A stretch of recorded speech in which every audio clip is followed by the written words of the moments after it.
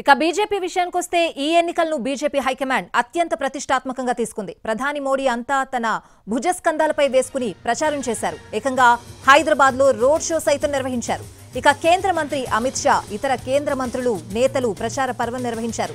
అయితే అందరి దృష్టి గజ్వేల్ పైనే ఉంది. ఎందుకంటే ఇక్కడ కేసీఆర్ పై ఈటెల రాజేందర్ బరిలోకి దిగారు.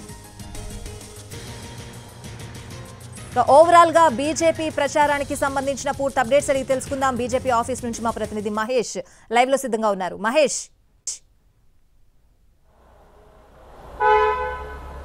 ఆ స్వాతి తెలంగాణ అసెంబ్లీ ఎన్నికలను బీజేపీ అగ్రనాయకత్వం చాలా ప్రతిష్టాత్మకంగా తీసుకున్నట్టుగా కనిపిస్తుంది. బీజేపీకి సంబంధించినటువంటి టాప్ నేతలందరూ కూడా తెలంగాణ ఎన్నికల ప్రచారంలో విస్తృతంగా పాల్ పాల్గొన్నారు. మోడీ కూడా ఇక్కడే మకాం వేసి మూడు రోజుల పాటు ఎన్నికల ప్రచారంలో పాల్గొన్నటువంటి నేపథ్యం. మొత్తానికి మోడీ ఈ ఎన్నికల షెడ్యూల్ వచ్చిన తర్వాత ఎనిమిది సభల్లో ఆయన పాల్గొన్నటువంటి నేపథ్యం. అదేవిధంగా ఆ తర్వాత స్థాన స్థాయిలో ఉన్నటువంటి నేతలు అమిత్ షా కావచ్చు నడ్డా కావచ్చు అదేవిధంగా యోగి ఆదిత్యనాథ్ రాజ్నాథ్ సింగ్ ఈ నేతలు కూడా విస్తృతంగా ప్రచారం చేసినటువంటి నేపథ్యం.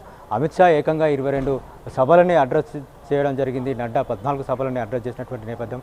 యోగి ఆదిత్యనాథ్ ఎనిమిది సభలు రోడ్ షోలో పాల్గొన్నటువంటి అంటే పార్టీ ఎంత సీరియస్గా ఈ ఎన్నికలను తీసుకుందనేది ఆ నేతల యొక్క ప్రచారాన్ని వాళ్ళు పెట్టినటువంటి ఎఫర్ట్స్ని ఇక్కడ ఉన్నటువంటి వాళ్ళు ఇచ్చినటువంటి టైంని బట్టి అర్థమవుతుంది.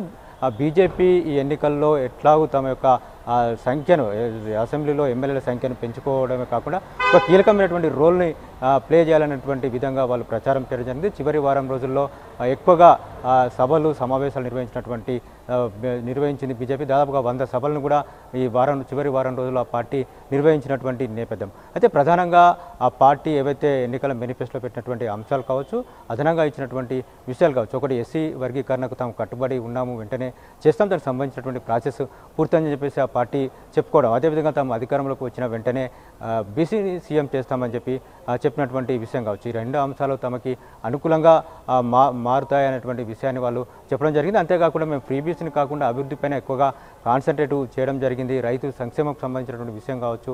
వీటిపైన కూడా మేము మా మేనిఫెస్టోలో పెట్టినటువంటి నేపథ్యంలో ఇవన్నీ కూడా ప్రజలకు రీ రీచ్ అయ్యని చెప్పేసి బీజేపీ నేతలు భావిస్తున్నారు. ఈ నేపథ్యంలో సైలెంట్ ఓటింగ్ అంతా కూడా తమకు పడుతుంది. ఒక నిశ్శబ్ద విప్లవం వస్తుందని చెప్పేసి బీజేపీ నేతలు చెప్తున్నారు. ఎవరు కూడా ఊహించని రీతిలో తమకు సీట్లు వస్తాయని చెప్పేసి కూడా ఈరోజు బీజేపీ నేతలు ఆశాభావాన్ని వ్యక్తం చేసినటువంటి పరిస్థితి స్వాతి. ఇంకొక విషయం. ఏంటంటే సంఘ పరివార క్షేత్రాలు కూడా గతంలో ఎన్నడూ లేని విధంగా మొదటిసారి ఈసారి ఇంటింటికి ప్రచారం చేయడం జరిగింది. జాతీయవాద పార్టీలకు ప్రభుత్వాలని ఎన్నుకోవాలని చెప్పేసి చెప్పినటువంటి నేపథ్యంలో ఇవన్నీ కూడా తమకు అడ్వాంటేజ్ అవుతుంది. ఏదైతే మేధావి వర్గం కావచ్చు ఎడ్యుకేటెడ్ కావచ్చు తమకి వైపుకి వస్తారనేటువంటి ఆశాభావాన్ని బీజేపీ నేతలు వ్యక్తం చేస్తున్నారు. తాము ఏదైతే బయట జరుగుతున్నటువంటి ప్రచారం ఏదైతే ఉందో దానికి భిన్నమైనటువంటి ఫలితాలను చూడబోతున్నారని చెప్పేసి ఆ నేతలు చెప్తున్నారు. తమ యొక్క ప్రచారం ఏదైతే ఉందో ఆ ప్రచారం చాలా ఫలితాలు ఫలితాన్ని ఇచ్చింది మోడీతో పాటు మిగతా నేతలు విస్తృత ప్రచారం చేయడం మూలాన అవన్నీ కూడా తమకు కలిసి వస్తాయని చెప్పేసి బీజేపీ నే- నేతలు చెప్తున్నటువంటి విషయం. స్వాతి. రైట్ మహేష్.